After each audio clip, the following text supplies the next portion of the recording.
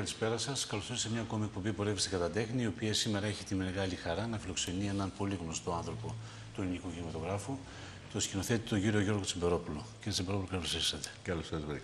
Να πούμε βέβαια ότι ο λόγος για τον οποίο βρίσκεται στην Κοζάνη και έχουμε τη χαρά να σας έχουμε σήμερα στο στούντιο είναι γιατί σε λίγο, σχεδόν σε μια μισή ώρα, στις 10 θα γίνει η προβολή μιας σημαντικής ταινίας παραγωγής του 1974 με τίτλο «Μέγαρα», ε, όπου το σενάριο και η σκηνοθεσία ήταν δικό σας και του Σάκη Μανιάτη και ήταν μια πάρα πολύ σημαντική ταινία καθώς βραβεύτηκε στο Φεστιβάλ Ελληνικού Κινηματογράφου. Απέσπισε επίσης ε, ε, έφημο και στο Φεστιβάλ Βερολίνου ε, και βέβαια θεωρήθηκε η πρώτη οικολογική ταινία και αν δεν κάνω λάθος είναι και το δικό σας διαβατήριο για να μπείτε στο χώρο του κινηματογράφου. Ναι, ναι, έτσι είναι. Ε, στο φιλοπρόοδο... Ο, ο φιλοπρόοδος σύλλογος Κοζάνης είναι ο φιλοξενών ναι. σύλλογος που διοργανώνει αυτή την ε, προβολή. Και είναι στο Ολύμπιον. Στο Ολύμπιον, ναι. έτσι ναι. Είναι λίγο εδώ κοντά στα στούντιο του West. Μάλιστα. Ε, αυτό είναι καλό για εσάς, ναι. για εμάς ότι δεν θα χρειάζεται να διανύσουμε μεγάλη απόσταση, αλλά νομίζω ότι και ο κόσμος ε, και τουλάχιστον όσοι κάθονται στο κέντρο είναι πολύ κοντά να πάνε στο Ολύμπιον, γιατί νομίζω ότι αξίζει τον κόπο. Κοιτάξτε, εγώ αυτό που θέλω να πω είναι ότι ακούει ο κόσμος ντοκιμαντέρ και νομίζει το συγχαίρει με το τηλεοπτικό ντοκιμαντέρ. Ναι. Που συνήθως είναι αργά. Κάποιος εκφωνητής μιλάει πάνω από τα βουνά και τα λαγκάδια. ε, όχι ότι δεν υπάρχει άλλο ντοκιμαντέρ βεβαίως, υπάρχει, αλλά ε, εμείς κινηματογραφιστές λέμε το τηλεοπτικό ντοκιμαντέρ και το κινηματογραφικό ντοκιμαντέρ. Το κινηματογραφικό ντοκιμαντέρ όπως είναι τα Μέγαρα ε, είναι φτιαγμένο για να παίζεται στο κινηματογράφο. Δηλαδή έχει ρυθμό, έχει ταχύτητα, έχει εναλλαγέ, έχει... είναι σαν ταινία δηλαδή τα Μέγαρα. Μόνο που δεν παίζουν ηθοποιοί, παίζουν αυτοί οι άνθρωποι σαν αυτούς τους παλιούς γέρους που δεν τους έχουμε πια, οι οποίοι μιλάγαν έξω από την καρδιά τους, δεν ε, έξω από κόμματα, έξω από συνδικαλισμούς, με το δίκαιο ας πούμε, του ανθρώπου που καίγεται ας πούμε, για του Και που υπερασπίζεται τα χώματά του και την περιουσία του. Έτσι, ναι. ναι. Γιατί μιλάμε βέβαια για μια γνωστή τότε ιστορία, καθώς στα τέλη του 1968 τότε έγινε μια προσπάθεια από, την, από το δικτατορικό καθεστώς των συνταγματαρχών σε συμφωνία με τον Αριστοτέλειο Νάση να δημιουργηθεί ένα συγκρότημα δηληστήριων και στην περιοχή των Μεγάρων. Ένα σχέδιο το οποίο στη συνέχεια πήρε ο γνωστός τραπεζίτης του στρατής ο Ανδρεάδης, γνωστός και αυτός καθώς. Ε, νομίζω έχει την εμπορική τράπεζα. Ναι. Την οποία στη συνέχεια είχε κρατικοποιήσει ο Καραμαλής κτλ. Ναι. Παλιές ιστορίες αυτές. Να πω εγώ την ιστορία πιο πιασάρικα. ότι είναι ένας. Ε, ε, Πολλές οικογένειες οι οποίες είχαν ε, τα αδερφομοιράδια που λέμε ότι από ένας ελαιόνα μοιράστηκε, ξαναμοιράστηκε, ξαναμοιράστηκε και ήταν κάτι αρχαίες ελιές 400 ετών μέσον όρο η καθεμία, κάτι κορμί τέτοιοι και μέσα σε μισή ώρα παρατάχθηκαν 24 μπουλντόζες και ξηρίσαν όλο τον κάμπο των Μεγάρων. Για να γίνει ένα δηληστήριο, χωρίς να το έχουν υπογράψει ακόμα οι άνθρωποι ότι θέλαν να το δώσουν. Ε, από εκεί ξεκινάει, ας πούμε, η, ταινία. Και είναι ο καθένας που λέει: Δεν το δίνω εγώ, ρε φίλε. Εγώ εδώ πέρα ζούσα, ας πούμε. Αλλά μιλάνε με πολύ απλά λόγια. Γιατί, ας πούμε, είναι σημαντικό αυτό το πράγμα για αυτούς.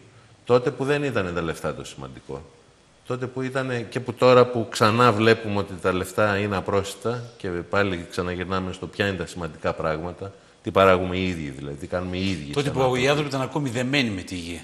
Δεν είχαν χάσει ναι. την επαφή με τη γη τους, την, την αγαπούσαν πραγματικά. Ναι. Αλλά κύριε Τσεμπερόπουλο, εκείνο το οποίο μου κάνει εμένα εντύπωση είναι το εξής. Ε, είστε πάρα πολύ νέος όταν ξεκινάτε, και τώρα είστε νέος, αλλά τότε είστε πάρα πολύ νέος όταν ξεκινάτε αυτή την ε, ιστορία. Μπαίνετε λοιπόν σε μια περιπέτεια διότι βεβαίως μιλάμε για ένα στρατιωτικό καθεστώς. Που δεν ήταν απλά τα πράγματα. Θα μπορούσατε να βρεθείτε οπουδήποτε, να υποστείτε διάφορα. Ε, Πώς λοιπόν αποφασίζετε εσείς να μπείτε σε αυτή την ιστορία, σε αυτή τη διαδικασία, Ήταν η άγνοια κινδύνου, ήταν ε, ο ρομαντισμός της νιώτης, η επαναστατική φλόγα που. Όλα αυτά μαζί, αλλά το πράγμα έγινε και λίγο-λίγο. Δηλαδή, ε, ήμασταν ε, με το Σάκη το Μανιάτη, ο οποίος ήταν έμπειρος κινηματογραφιστής, και εγώ mm. επρόκειτο, είχα τελειώσει την αντάτη εμπορική μόλις και με είχαν δεχτεί σε μια σχολή στο εξωτερικό να πάω να ξεκινήσω να σπουδάζω σινεμά. Ε, και... Στις ΗΠΑ ήταν αυτό μετά; Όχι. Μετά άλλαξαν τα σχέδια. Τότε ναι. ήταν στην Αγγλία. Θα πήγαινα στην Αγγλία. Και τελευταία, τελευταίο πράγμα πριν φύγω για την Αγγλία ε, δούλεψα σε μια ταινία τότε της εποχής εκείνης, ανεξάρτητη, το Άσπρο Μαύρο, του Θανάση του Ρετζή, και όπου ο Σάκης Ομανιάτης ήταν ε, διευθυντής φωτογραφίας, ο περατέρ που λέγαμε τότε, και, και εγώ βοηθός σκηνοθέτη, πρώτος βοηθός σκηνοθέτη.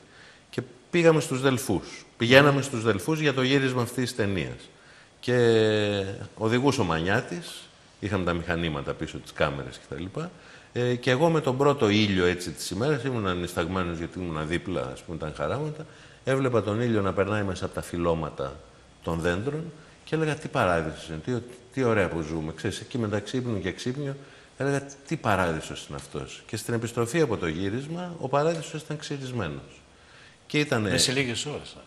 Ναι, ε, μα σας λέω, κράτησε 40 λεπτά η... Φοβερό. Δεν φέρανε δύο μπουλντόζες για να δουλεύουν όλη μέρα. Φέραν ολόκληρο στόλο.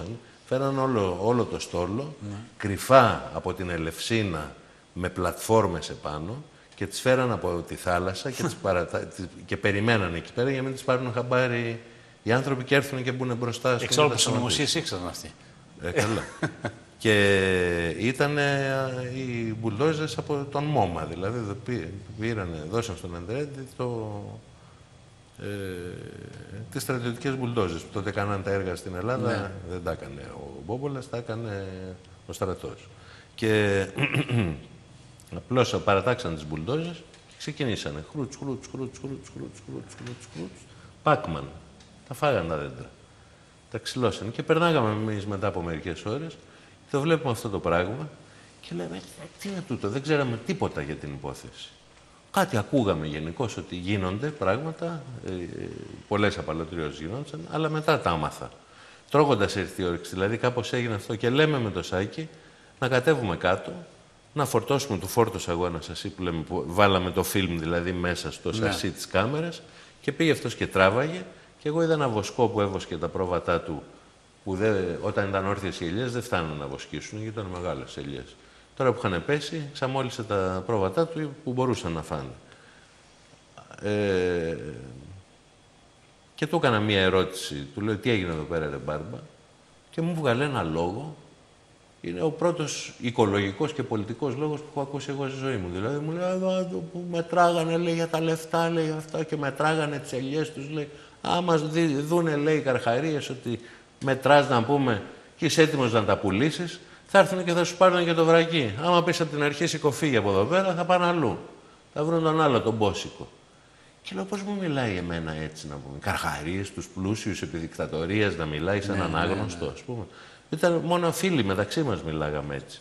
Και ε, τράβηξε ο Σάκης τα πλάνα και γυρίσαμε στην Αθήνα και εγώ δεν μπορούσα να κοιμηθώ. Μου καρφώθηκε στον εγκέφαλο.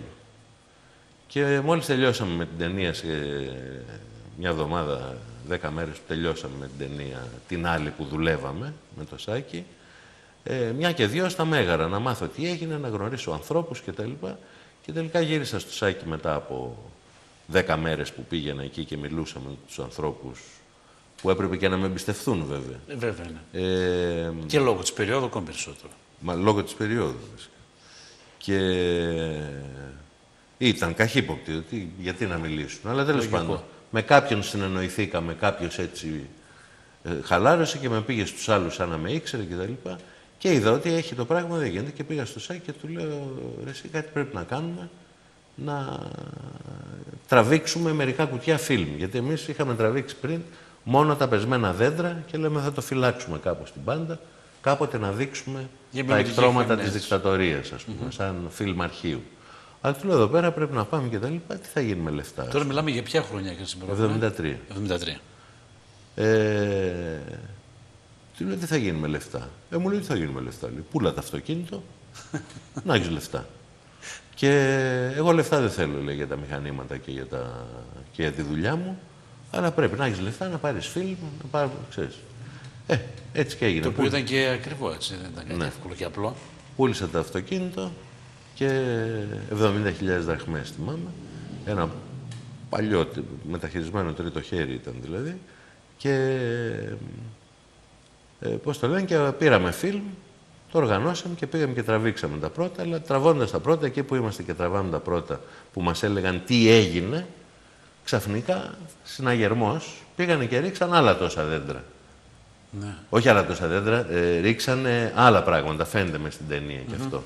Ήρθαν άλλες μπουλντόζες και ρίξανε κοτέτσια, ε, κοτέτσια εννοούμε μεγάλα κοτέτσια, που είχαν εκεί οι άνθρωποι, φυστικέ κτλ.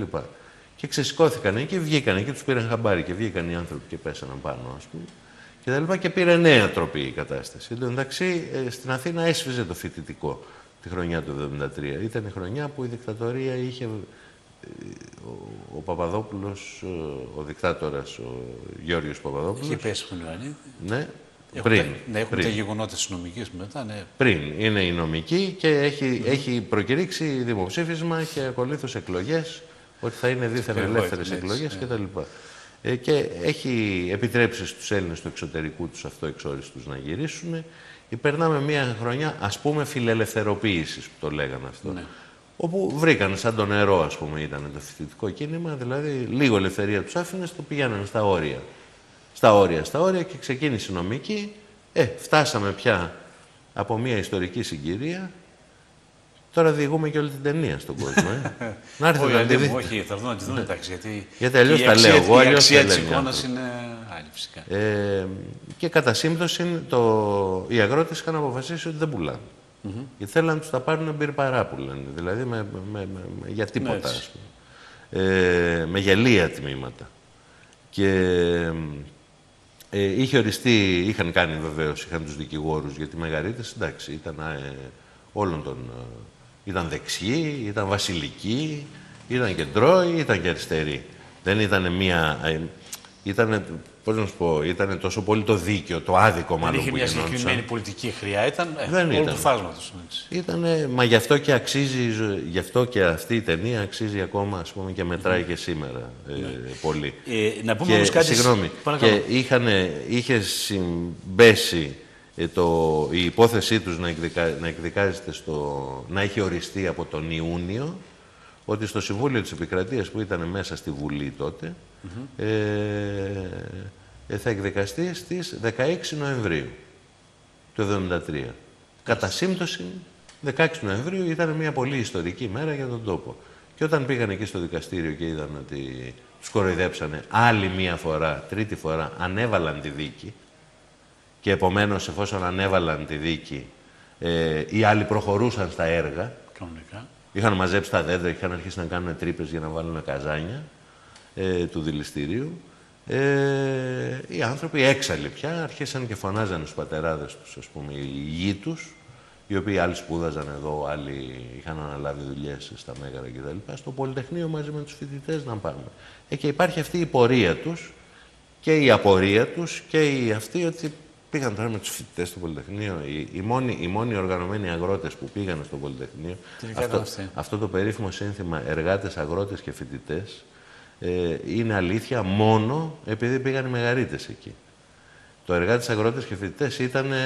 Ε, Πώς το λένε αυτό, η ευχή. Όχι ότι δεν υπήρχαν αγρότες, αλλά υπήρχαν μεμονωμένοι. Οργανωμένοι, ήταν μόνο οι μεγαρίτες. Και μπήκαν και έκαναν την. Ναι ανακοίνωσή τους κτλ. Ε, και μετά το βράδυ μπήκε το τάγκ και γίνανε αυτά που γίνανε. Αυτοί είχαν πάει σπίτια τους βέβαια. Mm είναι πραγματικά μερικές φορές, θα λέει κανείς, είναι ναι. αυτό που λέμε ότι όσα φέρνει η ώρα δεν τα φέρνει ο χρόνος. Ναι. Αυτό συνέβη... μα πήγαινε σιγά σιγά, ναι. θέλω να πω. Δεν πήραμε κάποια απόφαση. Mm Μας πήγαινε σιγά σιγά. Βέβαια έπρεπε να καλυφθούμε, να γράψουμε. Γιατί δεν μπορείς να πάρεις την κάμερα να τραβάζει του δρόμους. Εκείνες τι εποχές δεν μπορούσες. Τώρα όλοι έχουν γίνει κινηματογραφιστές με τις Τότε πώς γινόταν δηλαδή η δουλειά; Ε, όχι λόγω δικτατορίας, ανέκαθεν. Ναι, ναι. Άδεια λήψεως κοινών πρέπει να πάρεις. Δεν μπορεί να στήσει φώτα ξαφνικά στη μέση του δρόμου και να τραβάς. Και άδεια λήψεως κοινών σήμαινε ότι τότε η διαφορά από τη δικτατο... δικτατορίας από το τώρα είναι ότι τότε αν ήθελαν σου έδιναν άδεια. Και εμείς είχαμε γράψει. Ζητούσαν και εξηγήσεις τι και πώς και τα λοιπά, όλα τα ναι, πάντα. Ναι, ναι, ναι, τι σενάριο. Και είχαμε ναι. γράψει ένα ψεύτικο σενάριο ότι είναι μια ποιητική ταινία για τη γέννηση, τη ζωή και το θάνατο του ελαιοδένδρου. Που το είχε μνήσει η Σαπφό και ο. Α, εντάξει. Ναι. Ήταν και, ήταν και αρχαιοπρεπές, τους άρεσαν αυτά. Ναι, είναι... και ο Σεφέρης και τέτοια. Όλα τα λέγαμε αυτά εντάξει, που τους αρέσαν. Ήταν πάρα πολύ ωραία αυτά, είναι γιατί. Ναι, ναι. ε, Δυστυχώς η δικτατορία είχε ένα από τα.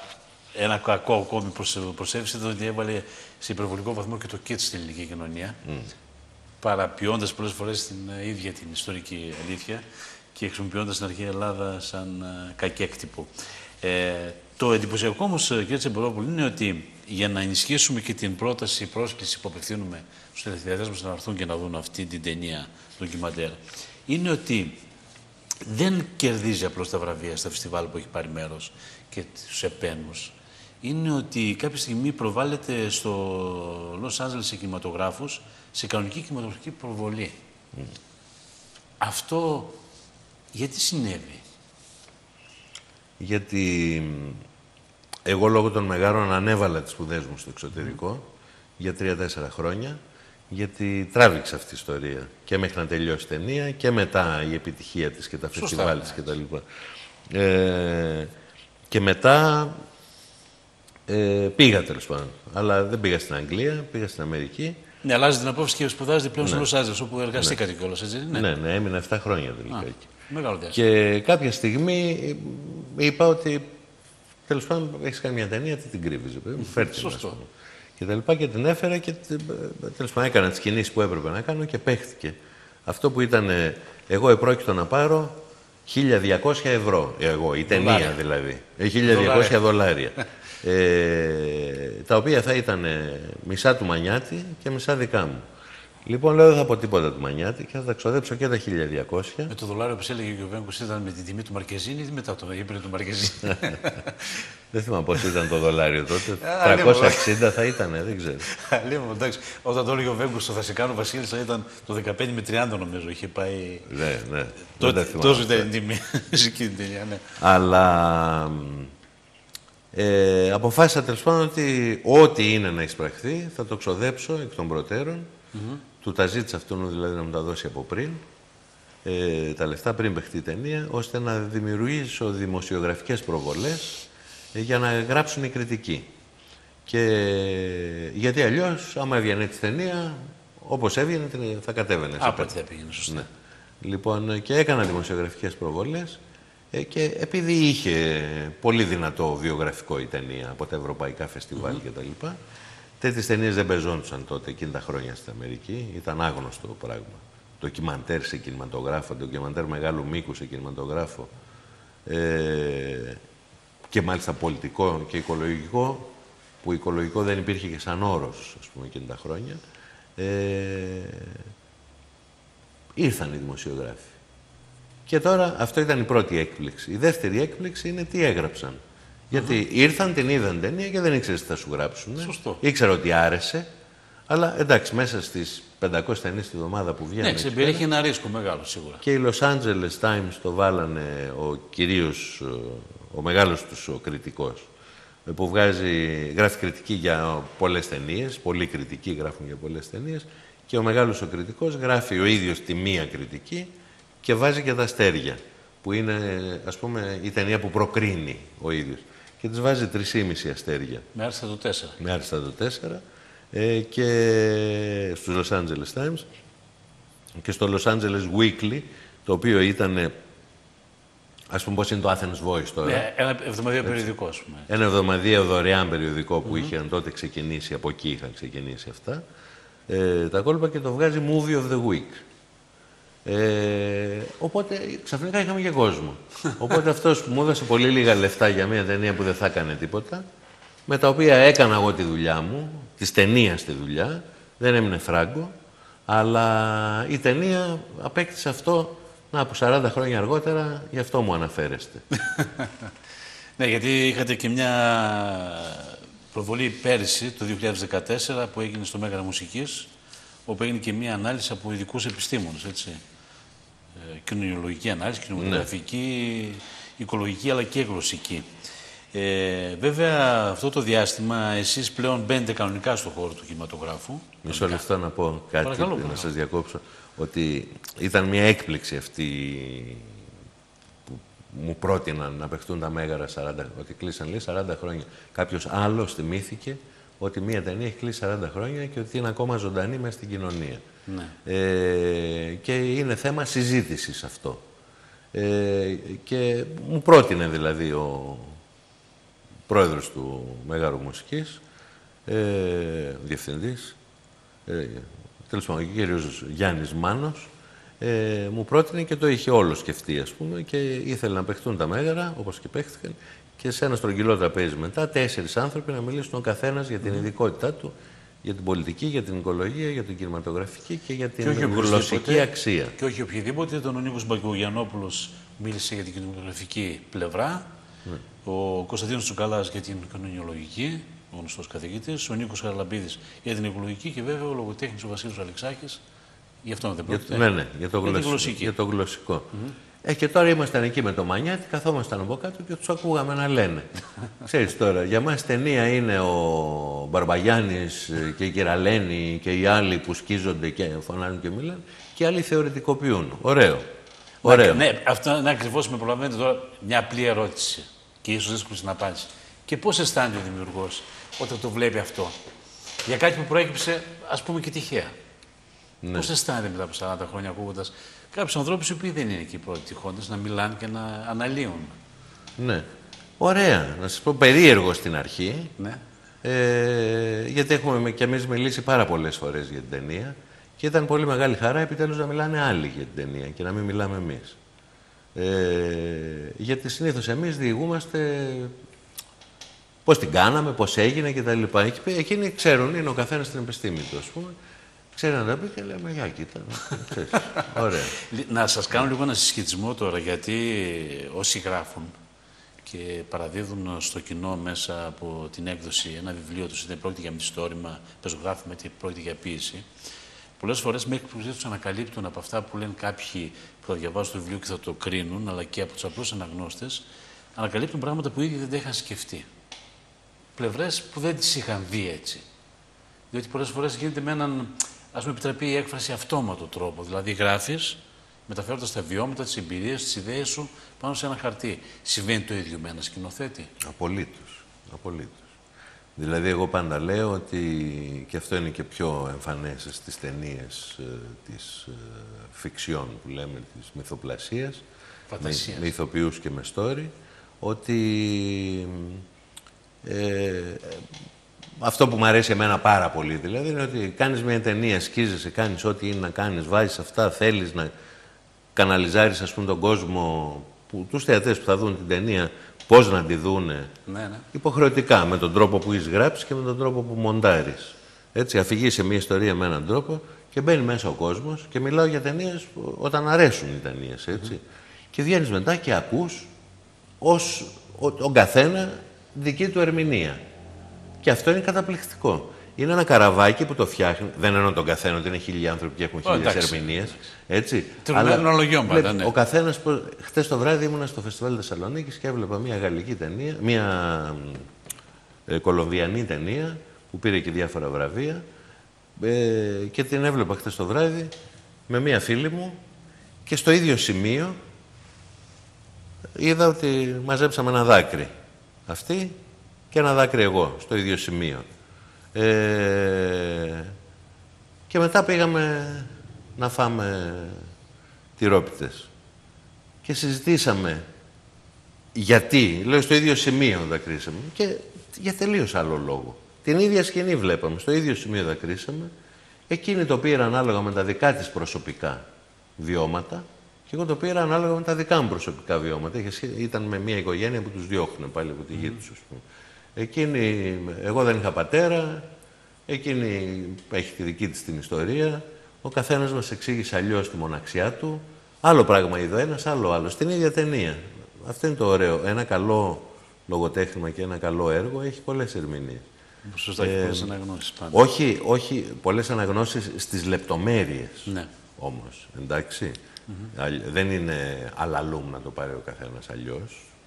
Το βασικό είναι το βασικό. Ε, εμένα μου αρέσει επίσης οι ταινίες να έχουν ανοιχτό τέλος. Και τα μέγαρα τελειώνουν με ένα ερώτημα. Ε, που τίθεται στο θεατή ένα ερώτημα. Έχει ένα ερώτημα. Δηλαδή, είναι σαν θέλετε να δώσετε τη σκητάλη στον θεατή για να το συνεχίσει αυτό. Θέλω πάρα πολύ. Ναι. ναι. Δεν ξέρω, είναι ο χαρακτήρας μου τέτοιος, δεν ξέρω. ε, δεν έχω καταφέρει ποτέ να δώσω άλλου είδους τέλος. Δεν επιβάλλετε δηλαδή την άποψή σας. Απλά καταθέτετε ένα θέμα και καλείτε mm. τους θεατές να συμμετάσχουν με τον τρόπο τους. Με το δάκρυ ναι. τους, με το γέλιο τους, ναι. με Με οποιοδήποτε τρόπο. Κοιτάξτε, οι ταινίες μου είναι απλές. Mm-hmm. Είναι απλές. Όπως και τα μέγαρα, έτσι και οι υπόλοιπες ταινίες είναι απλές. Δηλαδή έχουν πολύ απλή. Δηλαδή, οποιοδήποτε ναι, ναι, ναι, μπορεί να αυτό, πει αλλά... το story. Ναι, το λέτε αυτό και σε κάποιες συνεντεύξεις, αλλά ξέρετε από την άλλη μεριά η απλότητα δεν είναι εύκολο και απλό. Και ναι. αυτονόητο πάντοτε. Θέλει και, έχει και αυτό τη δυσκολία του για το επιτύχεις. Ναι, μα δεν το λέω άσχημα. Εγώ ναι, το ναι, θεωρώ ναι. μεγάλο ναι. Λένε λαϊκή ταινία. Μα να κάνεις αληθινά λαϊκή ταινία, αληθινά λαϊκή ταινία είναι επίτευγμα. Ε, εν πάση περιπτώσει, το λέω είναι απλή η αφήγηση, είναι απλά τα πράγματα. Οι άνθρωποι την ίδια ταινία βλέπουν, τα ίδια πράγματα καταλαβαίνουν. Αλλά επειδή υπάρχουν νοήματα από κάτω, άλλοι έχουν όρεξη να μιλήσουν. Γι' αυτά άλλοι δεν έχουν όρεξη να μιλήσουν. Όσοι έχουν όρεξη με το που τελειώνει η ταινία, για μένα είναι επιτυχία όταν τελειώνει η ταινία και δεν τους πεις και τέλειωσε τώρα, παντρεύτηκαν. τέλειωσε, ας πούμε. και το ότι παντρεύτηκαν είναι καλό. Ή άλλοι σκηνοθέτες λένε ότι παντρεύτηκαν είναι κακό, ας πούμε. Ναι. Αλλά τους εξηγείς κιόλας και ότι αν είναι καλό ή κακό. Εκεί μετά λέει, ωραία, τελειώσαμε. Πού πάμε τώρα; Σωστό. Να πούμε για μπάλα, να πούμε για το ένα, ναι, για το άλλο, ας πούμε. Ενώ αν το αφήσεις Ρε, τι έγινε τελικά, παντρεύτηκα δεν παντρεύτηκα; Είναι... Ανα... Αρχίζουν την κουβέντα μετά. Είναι σαν να κλειδώνεις την ταινία σου, σαν να κλειδώνεις το θέμα σου. Δηλαδή αυτό ναι. και τελειώσαμε. Ναι, έκλεισε και έξω από την πόρτα. Ναι, ναι, ναι. Ε, ενώ αν τα αφήνεις ανοιχτό, επειδή εγώ ίσως παραμένω με ερωτήματα. Δηλαδή, ξέρω εγώ στην ταινία με τον ξαφνικό έρωτα που ήταν η πρώτη με ηθοποιούς, ε, με ρωτάγαν όλοι, λέει, και στο τέλος αυτή μαζεύει τα μπογαλάκια της, αφήνει τον εραστή της στο ξενοδοχείο, τον αφήνει να κοιμάται, κλείνει την πόρτα και σκόνται και φεύγει και πάει στο τρένο. Δεν μας είπες, λέει, που θα πάει. Έλα να σου κάνουμε άλλη ταινία να δούμε που θα πάει. δηλαδή, τι που θα πάει. Τώρα σκέψω εσύ που θα πάει. Έφυγε μια γυναίκα που την παρακολουθείς, ας πούμε, μια μισή ώρα. Πέρασε μια μεγάλη ερωτική ιστορία. Τώρα, πού θα πάει. Πες εσύ, πού θα πήγαινες. Σωστά. Α αφήσουμε λοιπόν τη φαντασία να καλπάσει ναι. και νομίζω ότι αυτό είναι το σημαντικότερο. Ναι. Θα πρέπει να. Εντάξει, ενώ μιλάμε, εμείς βλέπουμε και κάποιες σκηνές και από τον ξαφνικό έρωτα, είδα καλά τώρα. Ε, παίκτηκαν μερικά. Έτσι, Μπράβο, παιδιά. Ναι, ναι, έτσι.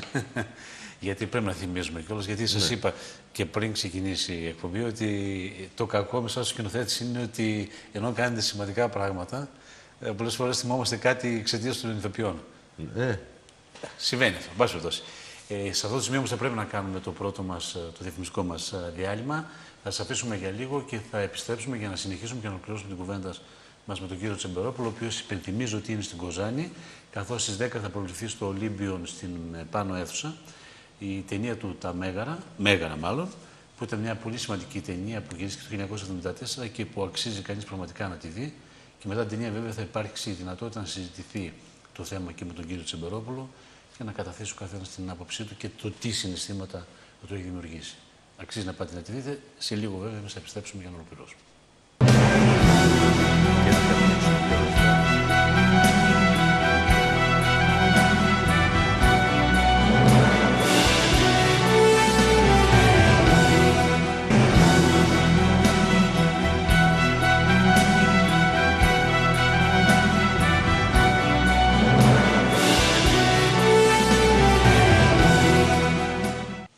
Μετά το απαραίτητο διαφημιστικό διάλειμμα, επαναρχόμαστε και πάλι στην εκπομπή μας Πορεύεστε κατά τέχνη. Έχουμε πάντοτε φιλοξενούμενο τον κύριο Γιώργο Τσεμπερόπουλο, τον γνωστό σκηνοθέτη.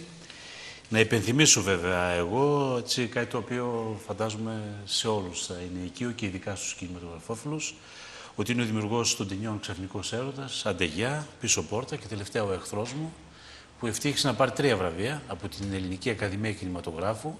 Καλύτερη σκηνοθεσίας για εσάς, καλύτερο σενάριο για τον uh, Γιάννη Τσίρο και καλύτερο μοντάζ για τον κύριο... Γιώργο Μαυροψαρίδη. Μαυροψαρίδη, ναι, γιατί ήταν λίγο yeah. Ναι. το ναι. επίθετο. Σημαντικό και αυτό και βέβαια είναι μια ταινία που ακολουθεί τη δικιά σας γραμμή που έχετε χαράξει αυτά τα χρόνια που δημιουργείτε. Δεν έχετε μεγάλη παραγωγή, αλλά ε, είναι, θα λέει, θα λέει κανείς, οι ταινίες σας ε, χαρακτηριστικότατες, μπορεί κανείς να αναγνωρίσει την ε, σφραγίδα και την υπογραφή σας, γιατί όπως έχετε πει και σε πολλές συνεντεύξεις σας, αρέσει να κάνετε κάτι που να είναι απλό και εύληπτο προς τον κόσμο. Και στην τελευταία σας ταινία μιλάτε για κάτι το οποίο θα μπορούσε να συμβεί στον οποιοδήποτε άνθρωπο. Δεν μιλάτε για ανατραγαθήματα, για κάτι που είναι έξω από την καθημερινότητα, αλλά για κάτι που μπορεί να συμβεί στον οποιοδήποτε άνθρωπο. Πόσο τελικά δύσκολο είναι αυτό να το αποτυπώσει κανείς και να τραβήξει την προσοχή του κόσμου. Ε, εγώ νομίζω ότι μόνο αυτό είναι σιγουράκι. Δηλαδή, όταν Όχι το παραμύθιασμα, γιατί... Α, ναι, ο καθένας ξέρει ό,τι μπορεί κάνει, ξέρετε, κάνει ό,τι μπορεί. Ε, εγώ εκεί είμαι, αυτά με συγκινούν. Οι ανθρώπινες ιστορίες με συγκινούν. Ε, κυρίως σινεμά κάνω, δεν κάνω τόσο πολύ για τον εντυπωσιασμό. Ε, ο ίδιος δηλαδή, η χαρά που παίρνω, ας πούμε, από φτιάχνοντας ταινίες, είναι η δουλειά με τους ηθοποιούς. Δηλαδή πώς γράφεις έναν χαρακτήρα επί μεγάλα χρονικά διαστήματα και μετά έχεις ένα χαρακτήρα, διάφορους χαρακτήρες δηλαδή, που συνδυάζονται ε, μέσα στην ιστορία που έχεις επιλέξει και μετά έρχονται οι ηθοποιοί οι οποίοι θα πρέπει τον χάρτινο χαρακτήρα να τον πάρουν αυτοί και να γεννήσουν έναν τρίτο άνθρωπο ε, που θα ζει, που θα είναι πια ντυμένος και θα συμπεριφέρεται γιατί παίρνω από τους τοπίους και δικά τους στοιχεία που μπαίνουν μέσα στο, στους διαλόγους και ναι. αλλάζουμε τους διαλόγους κτλ. Ναι, για να είναι κάτι που θα το έλεγε ο ίδιος και να μην είναι ξένο προς αυτόν. Ναι. Και το ζούμε με τους τοπίους, δηλαδή το μυστικό της επιτυχίας των ταινιών μου, γιατί δόξα τω Θεώ μόνο επιτυχίες έχω κάνει, ε, επιτυχίες με την έννοια ότι αρέσουν στον κόσμο. Πολύ σημαντικό. Ε, η, Τι πήγα να πω, ξέχασα από πού ξεκίνησα. Πολύ σημαντικό είπατε ότι για τις ταινίες που έχετε κάνει που αρέσουν στον κόσμο. Ναι, είναι ότι είναι ανθρωποκεντρικές, εν πάση περιπτώσει. Ότι, ότι ταυτίζονται οι άνθρωποι μαζί τους. Ναι. Κάτι άλλο πήγαινα να πω. Ε, δεν πειράζει. Παίρνετε όμως μικρές απλές ιστορίες, ε, τις οποίες ε, τις ε, δίνετε με έναν τέτοιο τρόπο, ούτως ώστε ο άλλος να αισθανθεί ότι είναι κάτι δικό του. Και νομίζω ότι αυτή είναι η επιτυχία, είτε αφορά τον κινηματογράφο, είτε το θέατρο, είτε το λογοτεχνία, το να μπορεί όλο να το κάνει δικό του κτήμα του, να πει εγώ είμαι. Είναι σαν ένα τραγούδι που λέμε, το συγκοτραπουδάμε και λέμε αυτό γράφτηκε για μένα. Ναι, ναι, ναι. ναι. Έτσι είναι. Βεβαίως έχετε δίκιο ότι υπάρχουν καταπληκτικές ταινίες, mm-hmm. καταπληκτικές ταινίες οι οποίες είναι έξω από εμάς. Ξέρω το Αποκάλυψη τώρα, ας πούμε, το Κοπόλα ή ο Νονός για όλη τη μαφία στην, ε, στην Αμερική, την Ιταλική μαφία στην Αμερική, ε, που είναι έξω από σένα. Αλλά και εκεί αυτές οι ταινίες είναι σου αποκαλύπτουν τα μύχια, το εσωτερικό ενός ανθρώπου, των χαρακτήρων δηλαδή που παίζουν μέσα, τις ευαισθησίες τους. Ότι έστω και αν βρίσκονται σε εξωφρενικές καταστάσεις, ο κανονικός άνθρωπος ποιος είναι αυτός που ζει τις εξωφρενικές καταστάσεις. Αλλιώς πηγαίνεις σε αυτές τις ηρωικές ταινίες, που και αυτές είναι χρήσιμες. Τύπου Μπεν Χουρ. ναι, ναι. Και, Έχουν και αυτές την αξία του. Ναι, ε, τεράστια αξία. τεράστια αξία. Άλλωστε πηγαίνουν, κόβουμε Κύριε Σεμερόπουλη, μου κάνει όμως το εξής ε, πραγματικά μεγάλη εντύπωση. Έχετε τη δυνατότητα και πάτε κάποια στιγμή στο Λος Άντζελες. Σπουδάζετε κινηματογράφο, έτσι δεν είναι; Μας είπατε προηγουμένως ε, την όλη περιπέτεια σε σχέση με την ταινία Μέγαρα που έτυχε μεγάλης αποδοχής, παίχτηκε σε κινηματογραφικές ταινίες του Λος Άντζελες για την οποία βεβαίως είστε εδώ στην Κοζάνη, το παραλαμβάνουμε αυτό έτσι και σε λίγο θα προβληθεί στο Ολύμπιον, για να βοηθήσουμε και όσο μπορούμε αυτό. Ε, είστε, θα έλεγε κανείς, στη Μητρόπολη του κινηματογράφου. Πώς και δεν αποφασίζετε να μείνετε εκεί και επιστρέφετε; Ε, Ο Νόστος; Όχι, όχι, όχι, όχι. Δεν μπορούσα να κάνω ταινία. Ναι. Έκανα μικρού μήκους, έκανα ντοκιμαντέρ, έκανα θέατρο. Μπήκα στο θέατρο, ήταν το μεγάλο μου κέρδος ήταν αυτό. Οι μικρού μήκους μου στη σχολή ήταν καλές. Υπάρχει θέατρο που να έρθεις στο Λος γιατί ξέρετε, το Hollywood μας δίνει την εντύπωση ότι τα έχεις σκεπάσει όλα. Υπάρχει πάρα πολύ θέατρο εκεί, ε, όχι καταπληκτικό θέατρο, αλλά υπάρχει πάρα πολύ γιατί είναι χιλιάδες τοποί από όλα τα μέρη του κόσμου και πάντω από όλη την Αμερική, mm -hmm. όλοι οι Αγγλόφωνοι από παντού. Περνάνε και από εκεί κάνα δύο χρόνια. Μπας και πετύχουν. Ναι. Μπας και πετύχουν στο, στη βιομηχανία της τηλεόρασης ή του κινηματογράφου. Ε, και εντωμεταξύ όλοι αυτοί, από αυτούς πόσοι πετυχαίνουν, το ένα της χιλή. Ε, οι υπόλοιποι τι θα κάνουν, για να μην χτυπάνε ενέσει, ε, έχουν επιτρέψει τα σωματεία, ειδικά στο Λος Άντζελες, τα σωματεία που είναι πολύ δυνατά, το σωματείο των ηθοποιών, ας πούμε, πάρα πολύ δυνατό, έχει επιτρέψει στους ηθοποιούς τους, στα μέλη του, να δουλεύουν και σε μικρά θέατρα και χωρίς πληρωμή. Κάτι το οποίο απαγορεύεται. Ναι. Υπάρχουν όροι εκεί, τρομεροί, ας πούμε. Άμα δεν έχεις τέτοια καμαρίνια και άμα δεν είναι τόσες ώρες πρόβες. Γιατί οι άνθρωποι θέλουν όχι να υπακούν στις τυφλές εντολές ενός σωματείου, θέλουν να δουλεύουν. Και πάνε εκεί και έτσι λοιπόν έχει πάρα πολύ θέατρο. Και εγώ μπήκα στο θέατρο τέλος πάντων με μία. Από μια συγκυρία είδα μια αγγελία και πήγα, το ήξερα το έργο και πήγα και το πήρα. Τέλος πάντων, έδωσα και εγώ οντισιόν σαν σκηνοθέτης, ας πούμε και μου το δώσανε εμένα και ήταν αποκαλυπτικό αυτό. μου άρεσε πάρα πολύ. το ήταν όλοι τους παιδιά μου του Άρθουρ Μίλλερ. Και Μεγάλο. μαζέψαμε και τα βραβεία της χρονιάς, Ναι. εκείνου του θεάτρου. Ε, και έτσι πήρα άλλου είδους τάρος, αλλά την ταινία, την μεγάλου μήκους που κυνηγούσα, εκεί ήταν συνέχεια ότι άσε μας τώρα να πούμε. Ξέρετε, δεν μπορούσες ούτε να, ούτε να κλείσεις ένα ραντεβού σοβαρό. ας Το πούμε, γεγονό για να ότι πετύχατε σε μια θεατρική παράσταση με ένα τέτοιο έργο σαν αυτό του Άρθρου Μίλλερ, που είναι πολύ απαιτητικό, δεν ε, λειτουργήσε ως το κλειδί που θα μπορούσες να ανοίξεις ας πούμε, την κατάλληλη πόρτα; Ε, λειτουργήσε, αλλά ξέρεις, ο- Αλλά όλος- μετά ήταν όλος- άλλη πόρτα από πίσω. Ναι. Όλος ο πλανήτης εκεί θέλει να, να πετύχει και η απόφαση είναι εκεί τα, οι ταινίες στοιχίζουν πάρα πολλά λεφτά. Οπότε όλοι, εγώ ήθελα να κάνω μια ταινία η οποία ήταν να πρωταγωνιστής ένας γέρος και το όνειρό του ήταν να παίξει ένα κομμάτι κλασικής μουσικής με το βιολί σαν αυτό και μου λένε κάτσε καλά. Εδώ πέρα τώρα ας πούμε ε, τι είναι αυτά, γέρος ας πούμε πρωταγωνιστής. Εκείνες εποχές δεν γινόντουσαν αυτά τα πράγματα. Ήταν τράβα στην Ευρώπη μου λέγανε. Ε, και κάποια στιγμή είδα και απόειδα ε, και ερμή ανοιχτή δηλαδή πήρα μία απόφαση ε, και σηκώθηκα και Και είναι η επιστροφή κατευθείαν στην πατρίδα, δεν υπάρχει κάποιος συνδιάμεσο σταθμό ίσως στη Γαλλία, οτιδήποτε. όχι, όχι, όχι. Ήρθα κατευθείαν στην Ελλάδα και όπου σε 1,5 χρόνο έκανα τον ξαφνικό έρωτα.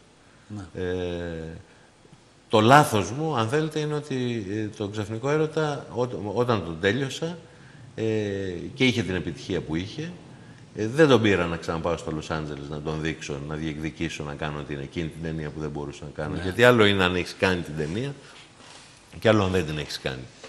Ε, δεν το έκανα. Και μετά έγινα μπαμπάς ε, και μετά έπρεπε να επαγγελματοποιηθώ και ανακατεύτηκα για 23 χρόνια με τη διαφήμιση. Όχι σαν σκηνοθέτη, σαν παραγωγός διαφημιστικών ταινιών. Και μετά έκανα το Αντεγιά, το οποίο επίσης έσχισε και τότε μου άναψε το βλομπάκι. Και δηλαδή κάποιος παλιός φίλος από το Λος Άντζελες με ειδοποίησε, ας πούμε, και μου κάνανε ένα αφιέρωμα στο Πανεπιστήμιο του Λος Άντζελες, στο UCLA. Ε, που Είναι το παίξε- πανεπιστήμιο που φοιτήσατε; Όχι. Το UCLA ε, είναι μεγάλο πανεπιστήμιο αυτό. Και μου έκανε, που έχει και την ταινιοθήκη του Λος Άντζελες, που είναι η πιο μεγάλη ταινιοθήκη του κόσμου. Και εκεί κάνω αφιερώματα στις σκηνοθέτες. Και τώρα εμένα, επειδή αυτός με ήξερε και του άρεσαν τα μέγαρα, πάλι από τα μέγαρα ξεκινάει αυτό. Ναι, λοιπόν, η καλή παρακαταθήκη. Ναι. Από εκεί ξεκίνησε. Ναι, ναι. Με πήραν τηλέφωνο και μου λέει: Τι έγινε, εσύ εγκατέλειψε τον κινηματογράφο, γιατί χάθηκες; Δεν διανοήθηκε ότι μπορεί να είχα κάνει άλλη ταινία και να μην το κατέστησα Ναι, έτσι. γνωστό. Τελείω αντιεπαγγελματικό, αλλά εγώ δεν ήμουν ποτέ επαγγελματίας. Ήμουν και με την καρδιά μου. Λάθος μου ήταν. Έπρεπε να είμαι. Ναι, πιο ξα- και σε αυτά οι Αμερικανοί νομίζω ότι είναι, Ναι. ε, τα έχουν βάλει τα πράγματα οι άνθρωποι σε μια σειρά. Ναι, με έναν τρόπο γίνονται τα πράγματα. Και μ, επέθηκαν οι ταινίες εκεί και πάλι ο ίδιος κριτικός, των, ο ένας από τους δύο κριτικούς των Μεγάρων, ο Κέβιν Τόμας, των Los Angeles Times ήρθε και είδε τις ταινίες και έγραψε μία κριτική και για τις δύο μαζί σε μία κριτική και είπε ότι δεν ξέραμε, λέει, μετά από τόσες ελληνικές ταινίες που έχουμε δει στα φεστιβάλ, ε, γιατί μόνο στα φεστιβάλ έχουμε δει ελληνικές ταινίες. Δεν ξέραμε ότι στην Ελλάδα υπάρχει μια κοινωνία με ανθρώπους που έχουν τα ίδια προβλήματα με τους δικούς μας. Πιστεύαμε ότι οι άνθρωποι στην Ελλάδα ζουν πάνω στα βουνά και περπατάνε μόνοι τους μέσα στην ομίχλη. γιατί τότε ξέρανε μόνο τον Αγγελόπουλο Ναι. στο, από τα φεστιβάλ. Το οποίο συνομιλεί κάνει. ναι. Ε, ο, από όλες τις ταινίες. Είναι Εδώ στα βουνά τα δικά σας, ας πούμε, ξέρεις, το κόβανε με το πόδι. και μ, δεν ξέρανε ότι στην Αθήνα και στις πόλεις δηλαδή οι άνθρωποι είναι όλοι οι ίδιοι. Ναι. Και αυτό κατά κάποιο τρόπο είναι και η... Ας πούμε πριν με ρωτήσατε και γιατί κάνω για την Αθήνα, γιατί την ξέρω. Γιατί κάνω για τις πόλεις, γιατί τις ξέρω. Ξέρω να το κάνω. Δηλαδή ξέρω τη ζωή, ξέρω τις λεπτομέρειες. Είστε Ξέρω, δηλαδή είναι ένα δικό παιδί μου της πράγμα. πόλης το οποίο δι- λειτουργεί για την πόλη, έτσι δεν. Ναι. Οι αστεί είναι οι ίδιοι παντού. ε, γι' αυτό και πέτυχα και στο θέατρο στο Λος Άντζελες και οι μικρού μου μήκους ταινίες επίσης πετύχανε. Ε, γιατί αστούς διάλεγα πάντα. Γιατί τους διάλεγα, επειδή με συγκινούσαν. Γιατί με συγκινούσαν, γιατί έβλεπα τον εαυτό μου και τους ήξερα. Ε, ενώ πολλά πράγματα άλλα με συγκινούν, δεν θα μπορούσα ποτέ να κάνω μια ταινία, ας πούμε, για μια εγκληματική οργάνωση που αν μου τη δώσεις και με πληρώσεις να την κάνω, δεν θα την κάνω άσχημα, αλλά να ξεκινήσει από μέσα μου, να έχω την ανάγκη να τη διηγηθώ, θα διηγηθώ κάτι που είναι πιο κοντά μου. Είναι σημαντικό αυτό πάντως, γιατί νομίζω ότι ε, κατά έναν εξηγήσιμο πολλές φορές τρόπο, ξεκινώντας από το μικρό το δικό μας, από το τοπικό μπορεί να γίνει και παγκόσμιο τελικά. Ναι. Αν μιλήσουμε και για έναν μικρό κόσμο, μπορεί να φτάσουμε να μιλάμε τελικά και για όλο τον υπόλοιπο κόσμο. Και πάντα με απλότητα. Και πάντα με απλότητα, ναι. ναι. Ε, Γιατί είναι η γλώσσα που φτάνει εύκολα ξανά. Καθώς μιλάμε σκέφτομαι και λέω τώρα αυτά μήπως νοιάζουν εσάς και εμένα μόνο που είμαστε, εσείς γράφετε και εγώ κάνω ταινίες κτλ. Αλλά τελικά είναι λίγο και οδηγίες προς ναυτιλωμένους και για τους πιτσιρικάδες. Γιατί για να πούμε και ναι. κάτι άλλο που έχει σχέση ναι. με το σινεμά. Το σινεμά ε, έχει γίνει τώρα πολύ απλούστερο. Έτσι. Όλος ο κόσμος έχει μια κάμερα και όλος ο κόσμος μπορεί με ένα σπασμένο πρόγραμμα να, να κάνει μοντάζ στον υπολογιστή του. Έτσι. Λοιπόν, ε, βλέπεις ότι υπάρχουν παιδιά 14 χρονών που έχουν κάνει μικρού μήκους ταινίες, ενώ εμείς περιμένουμε που η πρώτη μικρού μήκους ήταν στα 25 και το νωρίτερο. Και αφού θα έχετε πουλήσει αυτοκίνητο. Ναι. για να πάρετε ναι. φιλμ. Τότε πρωτοεμφανιζόμενος σκηνοθέτη 35 χρονών ήταν κανονικό. Έτσι, λογικό. Τώρα είναι όπως και στη... γέρος, ας πούμε. δηλαδή για να ξεκινήσει πρώτη φορά. Ε, λοιπόν, και η συμβουλή μου και σε ένα μάθημα που κάνω για τον κινηματογράφο ε, είναι αυτό που ξέρεις. Ναι. Δεν υπάρχει καμία ιστορία, αλλά καμία ιστορία που να μην έχει λεχθεί. Όλες οι ιστορίες έχουν λεχθεί. Την πρωτότυπη ιστορία Εντάξει, είναι μερικοί που έχουν τρελή φαντασία. Και μπορεί να σου κάνουν μια ταινία, ας πούμε, για ένα σκαθάρι, μια κρίδα, ξέρω εγώ. Αλλά οι ιστορίες έχουν λεχθεί. Το ζήτημα είναι ότι καμία ιστορία δεν είναι απολύτως πρωτότυπη. Μην αναζητάς την πρωτοτυπία, να αναζητάς αυτό που εσύ ξέρεις. Ένας δηλαδή... μεγάλος Έλληνας συγγραφέας και λάτι του κινηματογράφου που έχει ασχοληθεί και όλο ο Μίτσος Κασόλας. Ναι. Που έχει ασχοληθεί και με τον κινηματογράφο. Ο Μίτσος πάντοτε, ε, σαν συμβουλή, είχε να μου λέει ότι όλοι μας αντιγράφουμε τον Όμηρο. Mm. Από τη στιγμή που ο Όμηρος έγραψε την ε, Ηλιάδα και την Οδύσσια, τα έχει πει όλα, ναι. τα έχει βάλει όλα μέσα. Οπότε από εκεί πέρα εμείς απλώς λέμε τα πράγματα μέσα από την οπτική και της ε, συγκυρίας στην οποία εμείς βρισκόμαστε και στην οποία ζούμε. Έτσι είναι. Όταν, ε, δηλαδή, το μάθημα στο Λος Άντζελες, που έχουν κορυφαία σενάρια, ε, ήταν ε, πάρα πολύ γελία απλό. Mm Γελία απλό. Λέει όλες οι ιστορίες είναι. Παίρνουμε έναν άνθρωπο, τον βάζουμε κάτι να πάθει και βλέπουμε πώς αντιδρά.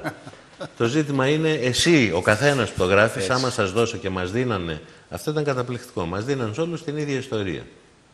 Παίρνεις έναν οικοσάρι που του συμβαίνει αυτό ε, και παίζουμε τι γίνεται παρακάτω. Και ήμασταν 24 σκηνοθέτες εκεί πέρα σε αυτό το μάθημα, οι συμμαθητές μου, ας πούμε, και εγώ. Ε, Άλλα πράγματα τελείω. Μας δίναν την ίδια ιστορία με τους ίδιους ανθρώπους και γράφαμε τελείως άλλα πράγματα. 24 διαφορετικά πράγματα. Ε, εκείνη η ομορφιά του πράγματος. Έτσι Δεν έχει, ναι, όλοι κοιτάτε το ίδιο, αλλά βλέπετε διαφορετικά. Ναι. Ισχύει αυτό που λένε ότι οι Αμερικανοί λένε ε, ότι δεν έχει σημασία ε, τελικά πώς θα κάνεις τι. Σημασία έχει ότι έχεις μια ιστορία και πρέπει να τη διηγηθείς καλά. Mm. Αυτό το πήρατε δηλαδή εσείς ε, σαν μάθημα μένοντα στην Αμερική αυτό το διάστημα; Ναι. Προσπαθείτε να πείτε μια ιστορία καλά. Ανεξάρτητα από την ιστορία που έχετε να πείτε. Ε, ναι, βέβαια. Είναι ε, όμω και αυτό τόσο απλό το μάθημα, και, αλλά ναι. και τόσο σημαντικό τελικά. Ναι. Ε, ο Τσέχοφ, ας πούμε, δηλαδή τι φιωριτούρες έχει; Τίποτα, απλές ιστορίες. Τίποτα. Το πιο απλό πράγμα, άντε κάντο. Όντως. Ναι. Γιατί, βέβαια, παθαίνουμε όλοι αυτό που είχε πει κάποια στιγμή ο Αίμνης ο Αλέκος Σακελάριος, ότι όλοι ξεκινάμε είτε να πρόκειται να γράψουμε, είτε πρόκειται να φτιάξουμε μια ταινία ή μια θεατρική παράσταση, όλοι προσπαθούμε να κάνουμε, είμαστε πεπισμένοι να κάνουμε το αριστούργημα mm. και στην πορεία διαπιστώνουμε τις δυσκολίες. Mm. Απογοητευόμαστε, άλλος τα πετάει, άλλος τα παρατάει. Σημασία έχει ότι ε, πρέπει να πεις την ιστορία σου και να την πεις όσο καλύτερα γίνεται. Και βέβαια νομίζω ότι ο τρόπος της απλότητας είναι σημαντικός. Κύριε Τσιμπορόπουλε, δυστυχώς ο χρόνο μας ολοκληρώθηκε. Αλλά θεωρώ ότι ήταν μια πάρα πολύ ευχάριστη εκπομπή σημερινή. Θα μου δώσετε μισό λεπτό κάτι που θέλω να πω; Και ε, το, θα ήθελα να σας δώσω ένα σποτάκι το οποίο έχει φτιάξει η Ελληνική Ακαδημία Κινηματογράφου δωρεάν ε, που έχει σχέση με αυτό που συμβαίνει που όλοι κατεβάζουν τις ταινίες παράνομα και που μας έχει κλείσει το σπίτι κανονικά. έχει, έχει διώξει, έχει, έχουν κλείσει κινηματογράφοι, έχουν κλείσει βιντεοκλάμπ, εμείς δεν μπορούμε να, πια να κάνουμε ταινία. Ενώ είναι τόσο πάρα πολύ απλό να δώσεις ένα ευρώ να πάει να την πάρεις από το βίντεο κλαμπ. Ε, και είναι ένα σποτάκι που έχουμε φτιάξει και θα ήθελα το κανάλι σας να μας ε, στηρίξει και να το παίζει κάθε τόσο. Με τα χαράς. Και να πούμε βέβαια ότι όλοι πρέπει να αντιληφθούν ότι πίσω από οποιαδήποτε δημιουργία υπάρχουν κάποιοι άνθρωποι οι οποίοι ταλαιπωρούνται γι' αυτό. Μπαίνουν στη βάσανο για να μπορέσουν να το υλοποιήσουν. Δεν είναι απλό, δεν είναι αυτονόητο. Ναι. Δεν είναι κάθισα, έγραψα και έφτιαξα την ταινία κτλ. Υπάρχουν άνθρωποι οι οποίοι πραγματικά καταθέτουν ψυχή. Δεν το λέω μελοδραματικά, δεν το λέω γιατί πρέπει ας πούμε, να αποσπάσουν βραβεία ή να τους πούμε μπράβο. Αλλά, εν πάση περιπτώσει, νομίζω ότι η καλύτερη αναγνώριση είναι αυτό που είπατε. Ναι. Να δαπανίσουμε ένα ευρώ. Μα και το παίρνουν και πάρα πολύ απλά γιατί το έχουν κάνει και σημαία πολλοί, ας πούμε. Κακώς εννοούμενοι αριστεροί, κατά τη γνώμη μου, κακώς εννοούμενοι, οι οποίοι σου λέει πίσω από κάθε ταμπέλα, εν πάση περιπτώσει, κρύβεται διά. Ε, αυτό. Και σου λένε οι πιτσιρικάδες, τι είναι αυτά τα φασιστικά πράγματα. Θέλεις, λέει, να πληρώνεις για τη δουλειά σου. Του λέω, γιατί. Όταν, όταν μπαίνεις μέσα σε ένα μαγαζί και λες, φέρε εδώ αυτό το παντελόνι και δώσ' το μου να σηκωθώ να φύγω. Ε, όταν μου πάρεις ένα ψωμί, το παίρνει δωρεάν. Το ψωμί Έτσι. το παίρνει δωρεάν, το φαΐ το παίρνει δωρεάν. Γιατί πρέπει να παίρνεις τη δική μου ταινία δωρεάν, Έτσι ακριβώς. Είναι ναι, νομίζω κάτι το οποίο πρέπει να το δούμε κάποια στιγμή. Κύριε Σιμπρόπουλο, σας ευχαριστώ πάρα πολύ. Εγώ, εγώ. Εύχομαι να γεμίσει, να κατακτηστεί ο κινηματογράφο σε λίγο που θα γίνει η προβολή. Νομίζω είναι ε, μια σημαντική στιγμή για την Κοζάνη και για τον φιλοπρόοδο ο οποίος είχε την πρωτοβουλία να καλέσει τον κύριο Τσεμπερόπουλο και να προβάλλει αυτή την ταινία και νομίζω ότι αξίζει να το τιμήσουμε. Ε, Εμείς σας ευχαριστήσουμε που ήσασταν κοντά μας απόψε και να νιώσουμε το ρυθμό μας για την ερχόμενη εβδομάδα. Να είστε όλοι καλά.